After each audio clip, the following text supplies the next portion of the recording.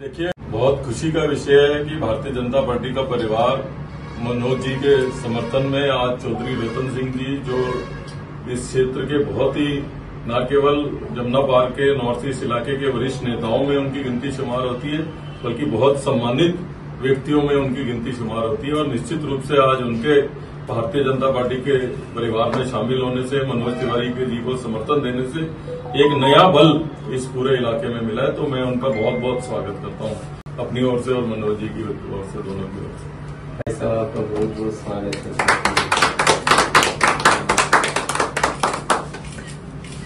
आदरणीय चौधरी रतन सिंह जी का हम आज भाजपा में स्वागत भी करते हैं और हम विश्वास दिलाते हैं कि हम और हमारे अरविंदर लवली भाई और यहाँ और भी हमारे साथी हैं, अमित मलिक हैं हमारे सचिन शर्मा हैं भाई बनारसी जी हैं।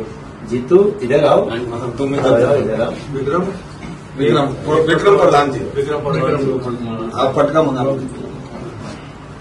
विनोद जी आप भी आइए इधर। विनोद जैस हमारे दूसरे ज़िले के उपाध्यक्ष हैं। तो हम सब विश्वास दिलाते हैं कि हम आपका स्वागत भी करते हैं और हमेशा सम्मान भी करेंगे पूरी तरह